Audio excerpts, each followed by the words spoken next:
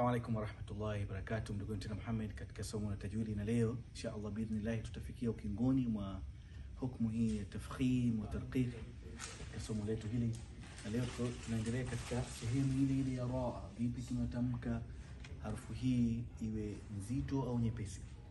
Na leo insha Allah tutaendelea hapa. Inapotokezea harufi ya raa kutanguliwa na harufi ya ya ya, sio ya tu, ni ya lini, utasoma murakaka kwa wepesi. Ya lini ni ya lini ni kitu gani? Kwa wale ambao walikuwepo katika darasa hili siku za nyuma, tulifika katika somo moja likaitwa madda, na tukasoma harufi za madda, tukasema ni alif, wau na ya na tukatoa hukumu hiyo ya madda. Kuna madda au kuvuta au kustretch kwa aina kumi na moja mpaka kumi na tukakuwemo katika maelezo yake, tukasema kwamba kuna harufu hizi tatu. Alif, wao na ya, hizi tukasema ni harufu za madda, lakini vile vile kuna harufu ya madalini inaitwa ambao ni wao na ya. Vipi madalini inakuwa? Madda lini ni ya ya ya au wao, harufu moja miongoni mwao hizi. Ya au wao ikatanguliwa na harufu nyingine yoyote ambayo ikawa ina kasra ama ina fatha eh, basi harufu hiyo ya nyuma ni ya au wao ikawa sakin, nyuma harufu ya nyuma ikawa na fatha, basi hiyo inaitwa madalin, na mfano ni hii hapa. Kwa hiyo hapo tukapokuta madalini ambayo ni ya eh, ikiwa ra ni harufu ya mwisho, basi hapa ukamtazamo unatakiwa kwamba itizamwe eh, ra ikiwa sukuni, unatizama harufu yake ya nyuma, ikiwa ra, ni sukuni, unatizama harufu ya nyuma. Hapo ukiangalia utakuta kuna fatha, na tumesema kwamba ikiwa ni fatha au dhamma, ra inakuwa ni nzito, lakini hapa condition iliyopo hapa ni kwamba ra unatizama harufu ya nyuma ni, ni na sukuni ambayo ni ya. Kwa hiyo hii haitokuwa katika kuangaliwa harufu ya nyuma yake na haraka gani, kwa sababu hii inaku- inakuwa unaikonsida kwamba ni ya au madalin. Kwa hiyo hapo utakapokuta kwamba ya ina sukuni, harufu ya nyuma yoyote itakayotokezea iko na fatha, hii inakuwa ni madalin. Kwa hiyo hapa itakuwa haitizami kwamba ni harufu ya nyuma ni fatha au dhamma, utasema tu kwamba ra nyepesi, utaisoma kwa tarqiq. Kwa hiyo utasema tayur na hata ukisoma vile vile utaangalia vile vile utaona kwamba ra huwezi kuitamka vile kuwa ni nzito au inakuwa kinyume. Utasema tayr eh, utasema tayr eh, hapa ghair eh, na tumesema namna gani tunatofautisha baina ya kuweka harufu inapotamkwa kwa uzito na unyepesi. Ghair unausaka ile mdomo unauzungusha hivi, ndio unapoona kwamba ni harufu nzito, na unapo smile eh, kwa unasema tayr, unapotanya mdomo kama hivi kwa kusmile, ndio unaonyesha kwa harufu hiyo inasoma kwa hiyo. Kwa hiyo khair, khair, so khair, khair.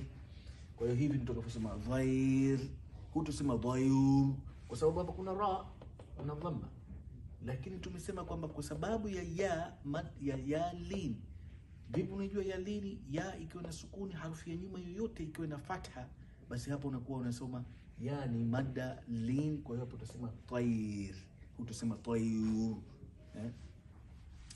Ingine ikitokea harufu za tafkhim mbele ikaja harufu moja wapo za madda alif wao ya, kama tulivyosema hapa, siku zote harufu hiyo itatamkwa tafkhimu kwa uzito ya hali ya juu kabisa, na hii tushasoma nyuma. Haya ni maelezo zaidi tu. Kwa hiyo nasema sad, eh, qul, qul, qala, eh, kwa sababu kuna alifu hapa eh, hapa kuna wao ni miongoni mwa harufu ya mada, unasema qul, sad, eh, hivi ndio utakapokuwa unasoma.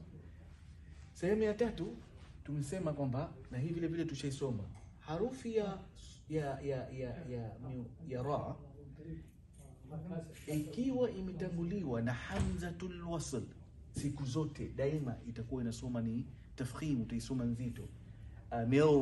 Amir, tabu, hutosema amir kwa sababu ina sukuni eh, unaweza ukasema amir, lakini kwa sababu imetanguliwa na harufi ya hamzatul wasl, hutoiangalia kwamba hapa imetanguliwa na kasra. Hii hamzatul wasl amir tab, na tumesema kwamba hamzatul wasl si nyingine unaisoma, si nyingine unaiskip, hutoisoma. Kwa hiyo hii hamzatul wasl maana yake ni hamza ikiunganishi. kiunganishi. Kwa hiyo vile ipo katikati, haitutamkwa, unaisoma kama kawaida, ameurtabu. Kwa hiyo utasoma ameuru, uzungusha mdomo, ameurtabu, hivi ndio utakavyokuwa nitamkwa. Hapa nimeweka mfano mwingine ili kutofautisha baina ya hamzatul wasl na hamzatul qata. Kwa hiyo hapa unaona il hapa inakuwa ina kasra, Utasema il ni tofauti kwa sababu hii ina kasra, jambo la kwanza. Jambo la pili ya kwamba hii uh, ni hamzatul qata, sio hamzatul wasl. Hapa ni mfano tu, ikiwa vile vile hata hii ikawa inasema ar eh, basi vile vile ikiwa hapa ni sukuni uh, ikiwa na sukuni ikiwa na fata, unaweza ukasema unaweza kusema ni harufi unitamka roa kwa uzito, lakini si, sijatoa mfano huu kutoka kwenye Qur'ani. Kwa hiyo hapa nakuonesha tu tofauti ya vipi unatofautisha baina hamzatul wasl na hamzatul qata. Vile vile hii ni sehemu ya mwisho kabisa, tuwe makini katika sura Ash-Shuara aya nambari 63 mwana ulama wa tajwidi wameweka mfano huu, sijui kwa nini, lakini moja tu ya kuonyeshwa kwamba vipi tunatamka neno hili, kwa sababu hapa mfano uliotolewa katika sehemu hii ya sura hii umetolewa ikiwa utakuwa umesimama, lakini hapa viweje wewe utasimama na hapana alama ya kuweza kuruhusu wewe usimame.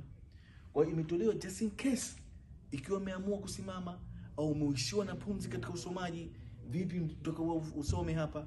Hivi ndio tukavyosoma, na mfano huu umo katika Qur'ani nzima sehemu moja tu ambayo imo katika sura Ash-Shuara aya nambari 63. Vipi unasoma hapa? Uh, wanasema hivi mwenye tujuoni wa wa wa wa wa wa wa wa wa tajwidi wanasema idha kanat raa sakina wa kana qablaha qabla uh, kasra eh, anasema idha kanat raa sakina, ra hii ikiwa itakuwa ina sukuni wa kabla kasra, na harufi ya harufi hiyo ita, itakuwa ina kasra asli ambayo ni original kasra yake hiyo amba, harufi ambayo imetanguliwa.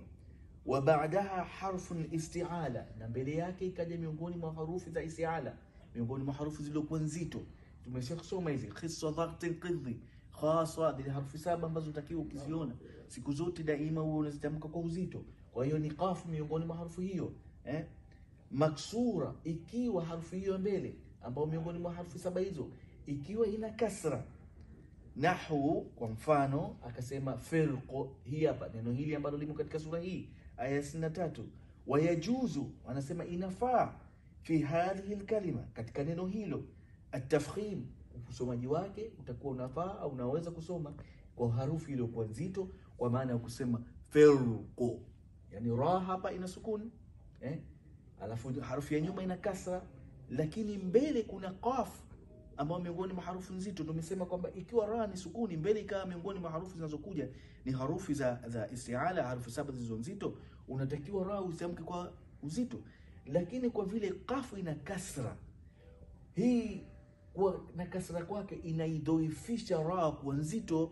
Kwa hiyo hadhihi alkalima atafkhim, unaweza wapa wazuoni wa tajwidi wanasema unaweza ukaisema kwa kwa tafkhim eh au talqiki au kwa wepesi, unaweza kusema kwa uzito, kwa wepesi.